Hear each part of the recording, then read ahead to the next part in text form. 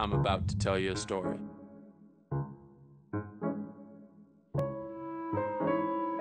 It has a beginning, a middle, and an end. Fact or fiction doesn't matter. It's all how I tell it. We play at fulltiltpoker.com.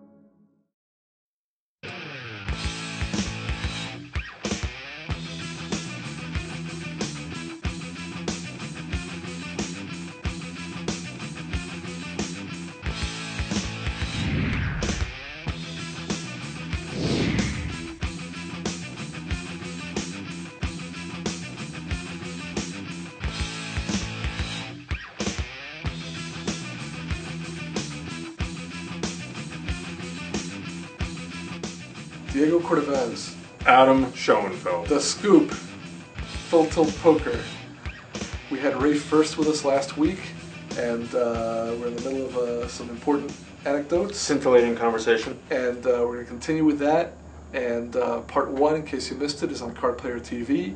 And uh, we're going to keep going with Rafe. Uh, what day did you play, Rafe? I played yesterday. Oh, right, I D- saw you. Yeah. And uh, you're standing? Uh, 15,000 some odd, so. You're in. That's the main thing. I'm in, and I feel, you know, the structure is fantastic. I have to say that they really nailed the structure. Mhm. Um, I felt like sort of any other year I, I might be out by now, and, and or, you know, I've gotten short and really been desperate, and, you know. You have like half the starting stack, and you still have like, what, like 40 big blinds or something like that? mean, I have like, 25, yeah. Like, right. like a very yeah. playable. Yeah. Right. I mean, I Very think playable. One of the things I noticed at the end of uh, you know the final level last night were was a bunch of people going broke that really didn't need to go broke, but of course this one out your experienced player, but people panic and they think they're short. And Yeah. yeah, they might be short compared to the chip Yeah. leader, or even short compared to average, which, as you've told me many Right. times, average Right. doesn't matter. It's like you've got chips to play with, which I, I thought the structure was excellent as well. I mean, I remember a few years ago in the main event, very early on, the guy got involved in a hand against Scotty Nguyen. Yeah. And, you know, for people who don't know, I mean, certainly in the early parts of events, Scotty's a very, very tight player. So this guy had raised, made a little raise pre-flop, and when a flush card came on the turn, Scotty had gotten all of the chips in. So it, it was hard for Scotty not to have a flush or something close to it. But this guy had two aces with no redraw, but he was very stubborn and he lost 8,000 of his 10,000 because Scotty didn't have him covered. So now he has 10, 2,000. This is the old days when you, it was still chip Right. for chip. So the blinds were 25 and 50. So he had 2,000 with 25, 50 blinds. And actually, in those days, in a $2,000 tournament, that was your starting stack. Right. Right. You know, which you wouldn't go crazy. Yeah. And about three hands later, he just got it all in, and someone called him, and the board ran out, and I think there was like a king and a jack, and the other guy showed like an ace ten and, and won, Right. unimproved. Right, right. This guy didn't have to show his hand. This is before you had to turn your cards That's over. And I thought this is losing perspective. Where if you start the two thousand dollar tournament with two thousand, you wouldn't even dream of getting all your chips in. But because he'd already lost the eight thousand, he didn't think of trying to come back. Yeah, in fact, uh, it, that, that's sort of the relative. I mean, you've been working all day, and it's, it is a little bit grueling, and you're concentrating. So it's, it's interesting the the, the way the mind sort of plays various games with you uh, about you know where you stand, and that you know intimately affects your decision making process. And you know, somebody told me uh, that uh, yesterday that a guy came to his table with like ninety thousand, and then like in a couple of hands blew down to fifteen Now, I know for sure. that I asked him, eh, eh, but I know for sure that he got to fifteen thousand on the very last hand because when you go from Right. yeah, there's no way that he played without just going insane That's the other big after that. Yeah. big fallacy that, that some people feel I don't want to come back the next day short. Yeah. And other people feel like I really want to come back the next day no Yeah. matter what, which Right. are the two extremes. That's right. Where it's obviously this completely artificial thing. It's Yeah. one tournament. Yeah. But some people really want to stay and make Right. it the second day. Both of those ways of so, thinking are wrong. You know, there was one guy who right. in this event late he you know, where there weren't that many raises, he folded pocket kings face up, but he had like a sh- and he had a short stack, which makes it even more debatable. But he really was determined that I don't want to be knocked out the first day. Got to tell the guys at home you And then the flip two. side is you do see people with fifteen thousand, But which is a, a, very equity. stack. I mean, the the year that I went really deep, after the first day I had seven thousand, you know, and but people say I don't want to come in the next day like that's really a bother even though I'm sacrificing potentially That was the year hundreds Johnny of Moss thousands won, of right? dollars of equity. yes, exactly. but they, they're like I I don't want to come back with a short stack even though the blinds like barely are moving up and So, now, one thing I just wanted to just sprung to mind. Now, Rafe, you are a bracelet holder, as is Perry Friedman, two of the prominent tilt boys. Right. Now, we had to edit this out, but when we had Phil Gordon on, he was he wept because he I, this. I understand. Yeah, that that that.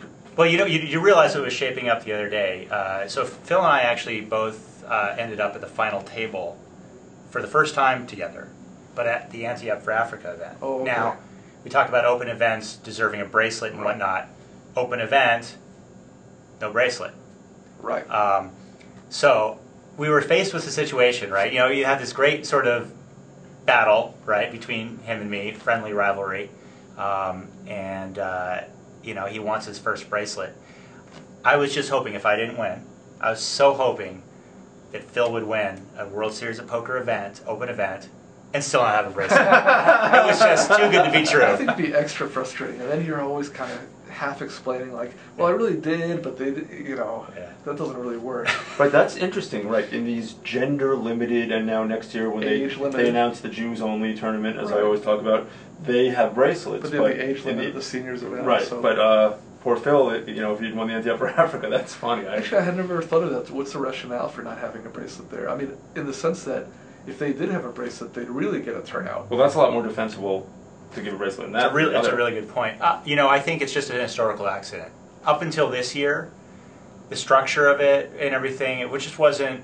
Uh, It was like a real. it wasn't. Yeah, it just wasn't taken seriously and whatnot. Um, and I think actually, to be honest, with the television coverage this year, right, and it's one of the few uh, ESPN covered events this year, that really caused a good turnout. But not only that, a serious play from the field, and so I mean, you saw the final table was like, you know, Hennigan who won it last year. Mhm. You know, five full tilt pros: uh, Jen Harman, Chris Ferguson, Phil. Uh, I'm forgetting Oh, I didn't know. But yeah, by the way, They've Yeah. tried to this keep escaped a, uh, me because there's so many events. Erik Seidel, sorry. Oh, really? Well, you know, part of it they What's he really ever didn't- done in poker? They didn't publicize it that much, and part of it I think Yeah. is 'cause it's going to be on TV. They, they Yeah. Right now, you a just whole spo- spoiler alert. That's all right. It is a Yeah. spoiler. This is live, isn't it? Yeah. Mm, and Rafe Furst. And Rafe Furst, yeah, So you could have won your second in a sense. in a sense. I remember years ago when you were out, you were the first person out of the main event, Yeah. which now is kind of lost. They can't do it anymore with the, the multiple days. Right, they don't know, Right, and it's there's not- six, 17 yes, different I, rooms I'm and proud. a restaurant. That's right. And you had an experience like where you're walking out as people are walking in, Yeah. correct? Uh, yeah. I mean, See, this is not to. You're gracious enough to come to the show. It's not to bring you down and. No, you- no, no, I'm down, it's not- it's- I have no you- problem you, talking you about it. described the hand to me, and it didn't really sound to me like you had to go broke. I mean, if I may second guess. yeah, absolutely. I, I think, um, I, you know, I look, it assumed was, that you had like a full house, because this is like a minute. it was like the second, no, maybe the third main event I'd ever played, and Mm-hmm. Um, so yeah, the Rafe today probably would not have gone broke, especially against. I was playing against John Juanda in the big hand, and um, it was set over set. I had bottom set. It was Ace Queen Ten flop, rainbow, I believe, um, and or I'm not even sure. There might have been suits, but the but the point is, I don't know. Just some. I just I thought I went into the tank and uh, I had him covered by a couple of thousand, and we talked about the value of a couple of thousand early on in the tournament. I was like, well, look, I'm not busted, and If you're wrong, you're.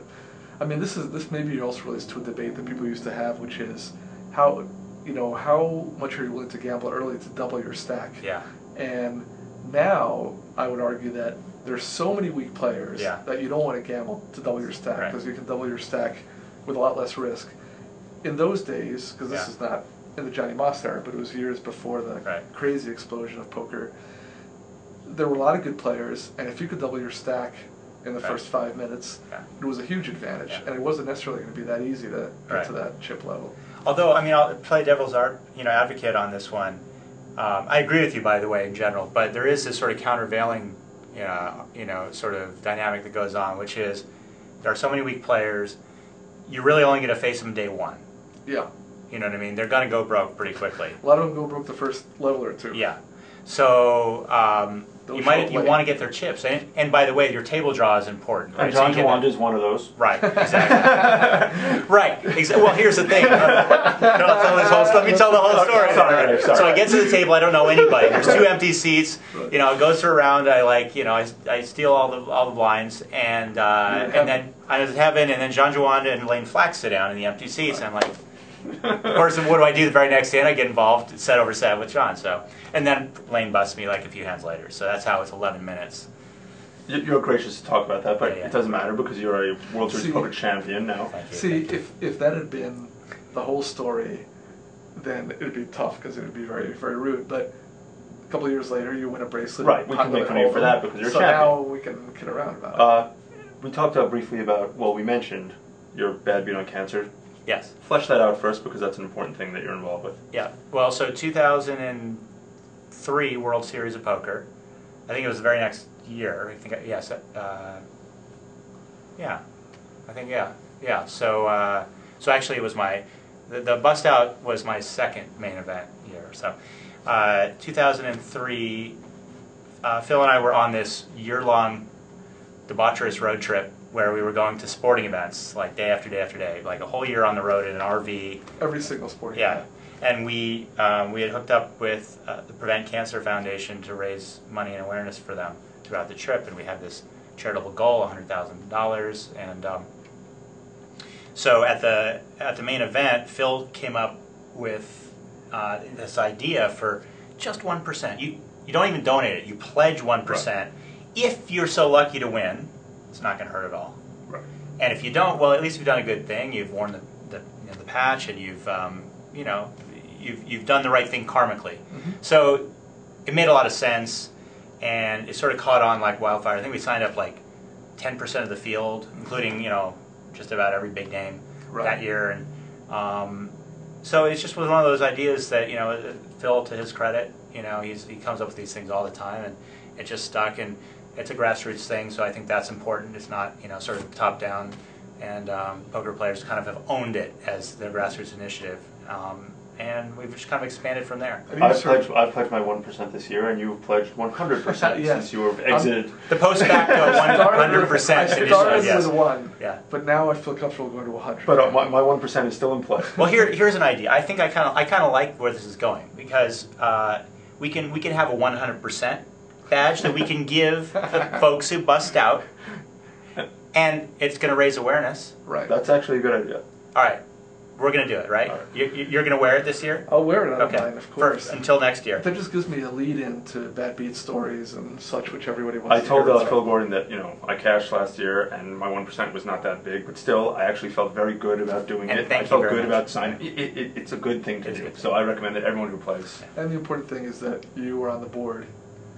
So it's not just a matter of passively sending money to an organization, but you're involved in. That's right. I remember you grilling me on this fact earlier. Did I? Yeah, you, you were, you were, Yeah, you were really interested, and I always appreciate when people do want to learn more because it is the case that you know sometimes it's a little bit opaque what what charities do, and you know even charity poker these days has become a little bit of a business for for certain Right. operations, and so I always ask, you know, how much of the proceeds? It should be hundred percent of the proceeds, you know, uh, goes to you know the charity and um, you know the organization, the organizer should make up their, um, you know, should should make up their costs and fees from sponsors, corporate sponsors and whatnot. Ideally. So, uh, but the ideally. fact that you're on the board means that right, you're.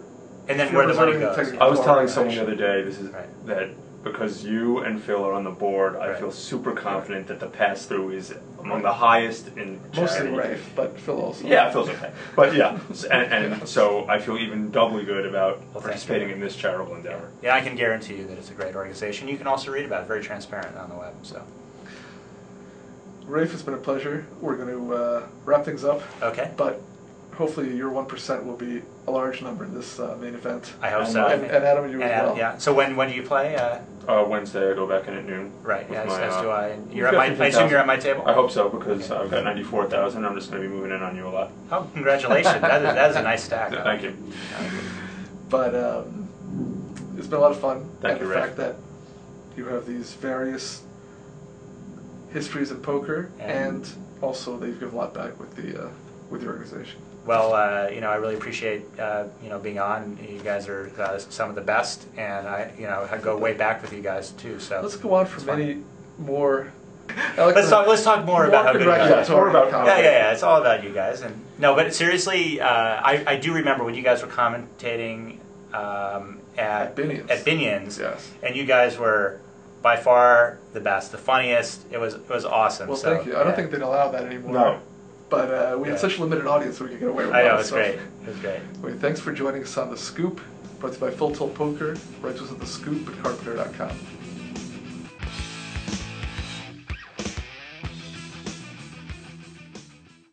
I've seen just about everything.